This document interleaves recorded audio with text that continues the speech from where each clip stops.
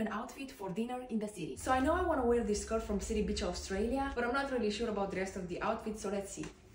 Since it's still very cold outside, I think we have two layers. For the first option, a leather top, maybe not. We can add a cozy sweater. So I feel something is missing, the vibe is not really there, so let's try something. Let's put it upside down. I know this sounds weird, but I think it's gonna work. I'm gonna put the top like this, put my arms through, and now I'm gonna twist this. Okay, this is better. Here we can add the belt. This looks so much better. Let's get some boots. I like these boots, but I don't think it's the same color and I'm pretty sure I'm gonna hate it, so let's do white. The best part, these are actually super comfortable.